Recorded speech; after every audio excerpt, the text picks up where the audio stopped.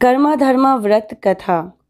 कुंवारी युवती एवं विवाहित महिलाएँ बेसब्री से क्यों करती हैं कर्मा का इंतज़ार?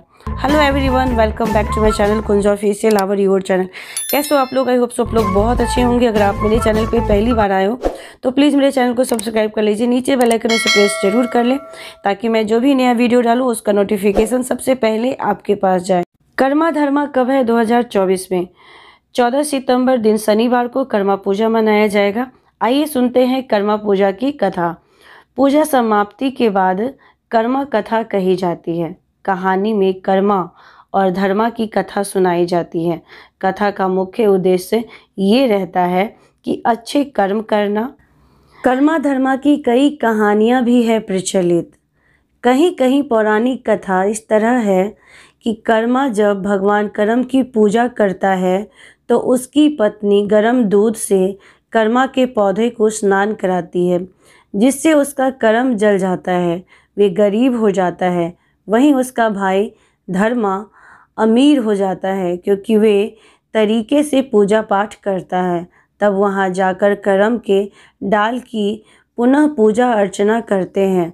तब उनका कर्म जाग जाता है। रास्ते में कई स्थानों में कर्मा को सोना, चांदी व पैसे मिल जाते हैं जिससे वे अमीर हो जाता है।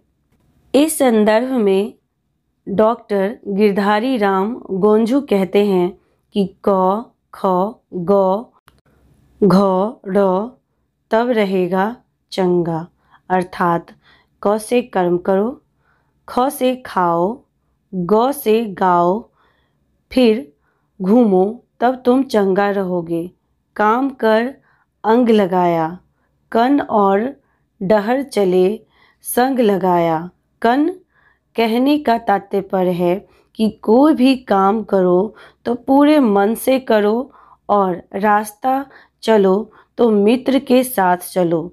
कथा समाप्त होने के बाद सभी युवतियाँ करमडाली को गले लगाती हैं। उसके बाद रात भर नृत्य, गीत चलता है। कर्मा पूजा का कुंवारी युवती एवं विवाहित महिलाएँ बेसब्री से करती हैं इंतज़ार। कर्मा पर्व भाई बहन के आपसी सद्भाव, स्नेह और प्रेम का प्रतीक है। ये पर्व भाद्रपद शुक्ल पक्ष एकादशी तिथि को मनाया जाता है। इस पर्व का इंतज़ार कुंवारी युवतियाँ एवं विवाहित महिलाएँ बेसब्री से करती हैं। दूसरे दिन निर्जला उपवास किया जाता है। इसी दिन मुख्य पूजा आयोजित होती है। शाम को आँगन में करम पौधे की डाली लगाकर फल, फूल आदि से पूजा की जाती है। इस दौरान महिलाएँ करम डाली के चारों ओर घूम घूम कर गीत गाती हैं। शादीशुदा महिलाएँ अपने मायके में मनाती हैं पर्व। भाई खीर लेकर बहनों से सवाल करते हैं कि कर्मा पर्व किसके लिए करती हो? तो बहनें जवाब देती हैं, भाइयों के मंगल कामना के लिए। बाद में भाई खीर से मारता है, जिसके बाद महिलाएँ एवं युवतियाँ फलहार करती हैं।